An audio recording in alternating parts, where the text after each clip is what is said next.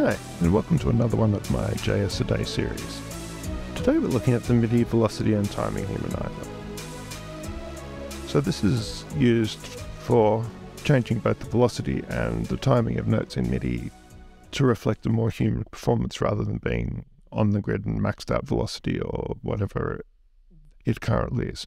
You could do this by editing the MIDI, but this is another way of approaching it.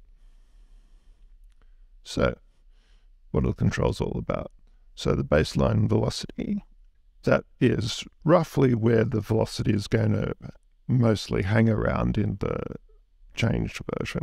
You can either leave it to be use the original as the as the base, or you can set a value there. So say you want it to be generally about velocity 100 or something like that. You've got a control here about whether you add a one beat delay You've got a bias timing humanization. So this can be up to minus 10 or plus 10 milliseconds uh, in front or behind. You've got the, the humanization level, of the timing and the velocity humanization level, which are from 0 to 10. Uh, which MIDI channel it uses, or 0 is any MIDI channel and a couple of parameters that you don't touch because it sorts it out itself. So on default settings, it won't actually do anything, as you can probably see. So let's have a listen to what our drum beat sounds like on default settings. And I've deliberately maxed out the velocities on this, so it's going to sound fairly ordinary.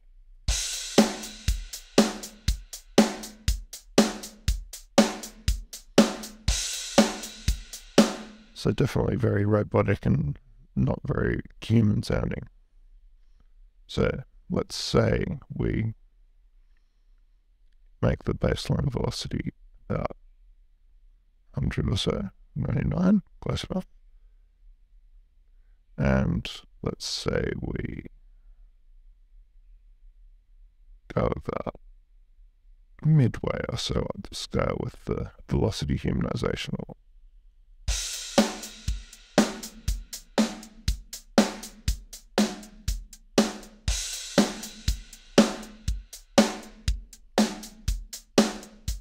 So as you can see, and here it's definitely humanizing the velocity.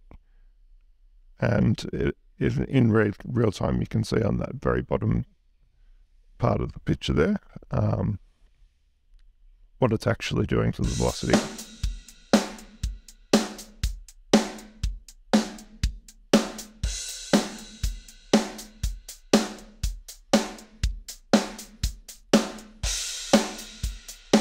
and the midpoint there is of course going to be your baseline velocity. So it's going to be it's going to be showing you what it's doing relative to that. In this case, 99. Okay, so let's let's make a slight timing bias. Let's make it a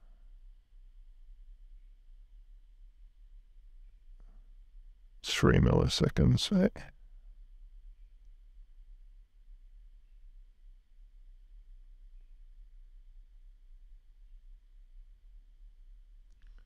2.9, close enough. And let's put the humanization level for this up about the same.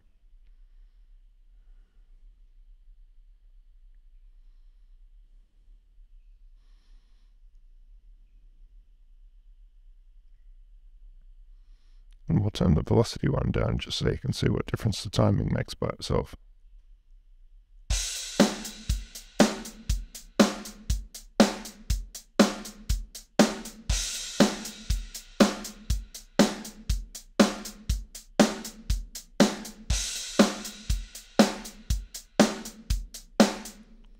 So it's subtle, but it's it's definitely there. So if I put this to back to five again.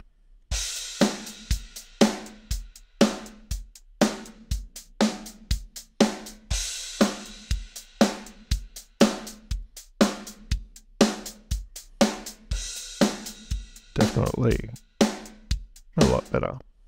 So let's do a playback and enable and disable it during.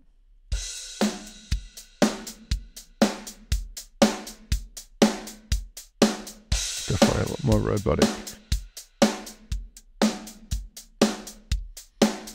And a bit more realistic.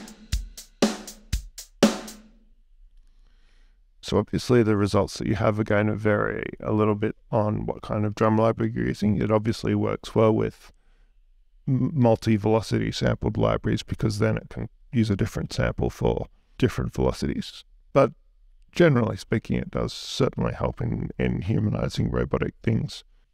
If you want an easy way to do it, then just manually hand editing your log MIDI. Well, I hope that was helpful. I hope you learned something, and I look forward to seeing you in tomorrow's video.